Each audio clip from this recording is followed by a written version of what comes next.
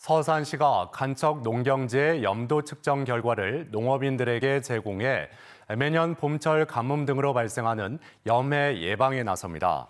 시는 지난 2월부터 서산 AB지구와 대오지구 두 개 지역 담수호와 논, 관계수로 등에서 염도를 측정해 분석 중이고 현재까지 농업용수 활용에 문제가 없는 것으로 나타났습니다.